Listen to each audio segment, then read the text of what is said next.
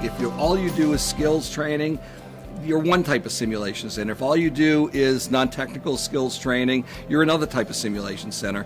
I'm very proud to say that we are both of those things, where deliberate practice is part of our forte, but also team training and, and, and debriefing, and really good debriefing. Really, it's an art. People will say that there's more opportunity in the practice, and some people will say that there's more opportunity in the debriefing.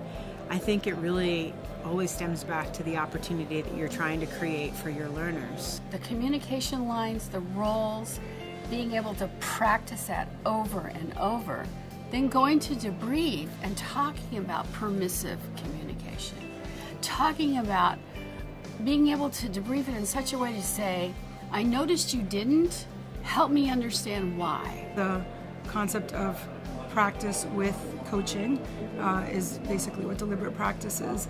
Uh, and then the debriefing piece really allows us to analyze what happened, why it happened, and how we can do it better.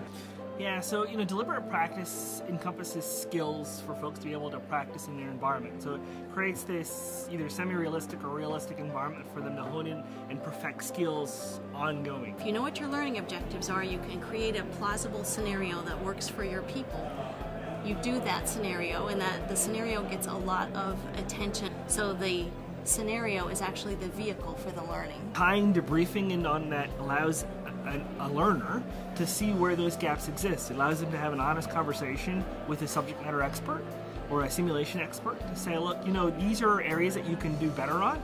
And then when we tie it back to deliberate practice, they can hone in on those skills and perfect them even further. We always ask that question: What do you see you see you taking into the clinical practice? You know, when you go into the clinical setting. And students are usually pretty good at kind of identifying those things that they, they take out of that simulation and that they would transfer to practice. And then when we get them into the hospital, our clinical instructors uh, kind of follow up on that and see if they're actually applying those things the way that we anticipated they would through the through the education. Debriefing is very important for things like team training and behavioral education and non-technical skills. I think there are some opportunities where just the experience of going through something can be transformative and can be that aha moment in and of itself. Some learners, especially novice learners, or even more advanced learners sometimes really need the opportunity to reflect upon what they've done in the debriefing process. Dr. David Gaba said uh, a number of years ago that simulation is a technique, not a technology.